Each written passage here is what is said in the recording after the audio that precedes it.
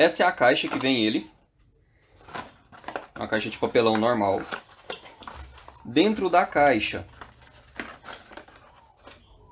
vem a base do ferro de solda, um estanho também, as ponteiras do ferro de solda,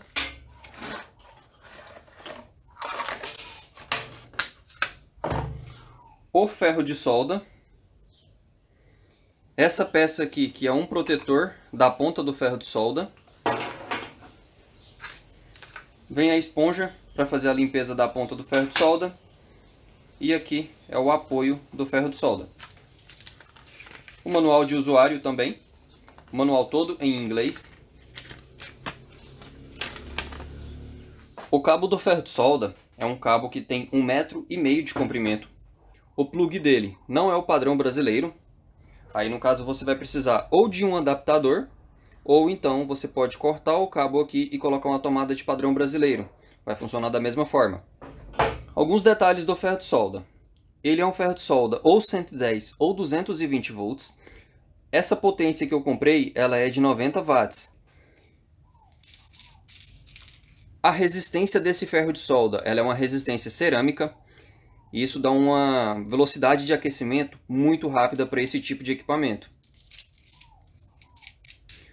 Falando da ponteira, ele veio com uma ponteira já instalada e mais cinco ponteiras reservas.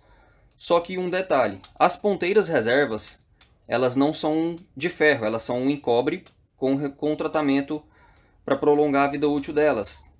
Já a ponteira que vem nele, ela é uma ponteira ferromagnética.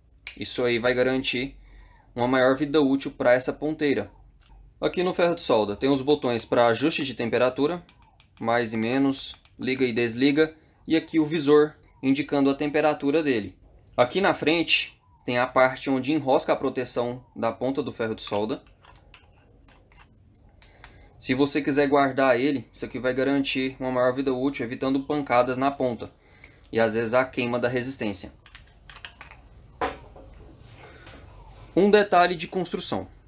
Na junção dele aqui, tem alguns locais que são mais abertos do que outro, como se fosse uma pequena rebarba aqui na junção. Mas assim, é só um detalhe besta mesmo. Eu estou mostrando porque tem gente que não gosta nada de rebarba e tal. Isso aqui para mim, no meu caso, o ferro de solda funcionando e tendo o ajuste de temperatura, já está ótimo, ele está funcionando perfeitamente para mim. Isso aqui não vai me atrapalhar em nada. Se você quiser, dá para você passar um, uma lâmina de estilete aqui, tirar esse excesso de rebarba aqui, mas é coisa mínima mesmo.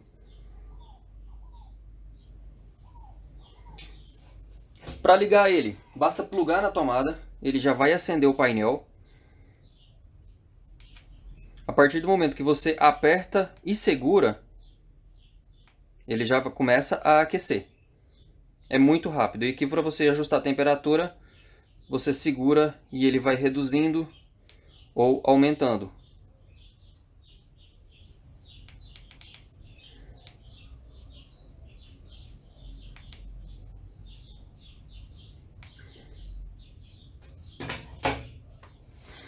Aqui são os detalhes do manual. As potências dele tem ele de 90 watts, 100 watts e 200 watts.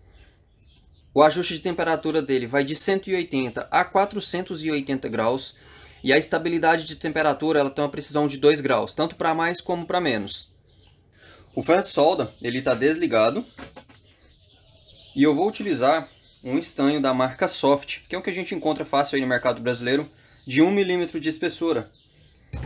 Fiz um ganchinho dele aqui, vou colocar aqui na ponta do ferro de solda e ligar ele para a gente ver quanto tempo ele demora para aquecer até o ponto de derreter o estanho.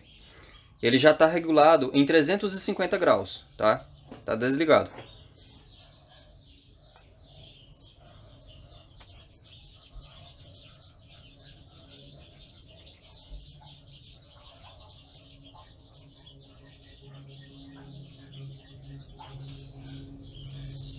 Agora vamos aferir essa precisão da indicação de temperatura no visor.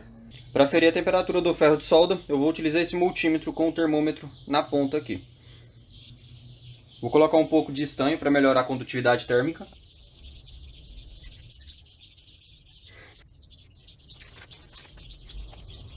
Estabilizou.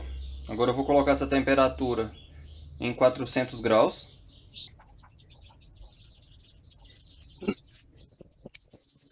Estabilizado aí em 410 graus.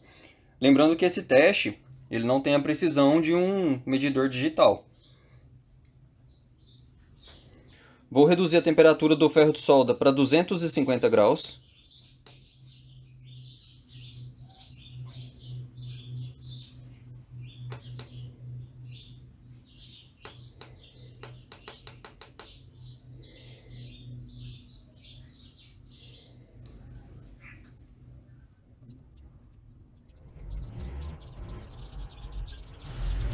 temperatura estabilizada. Ele tem uma boa pega na mão e a base aqui onde a gente segura, ela não aquece praticamente nada.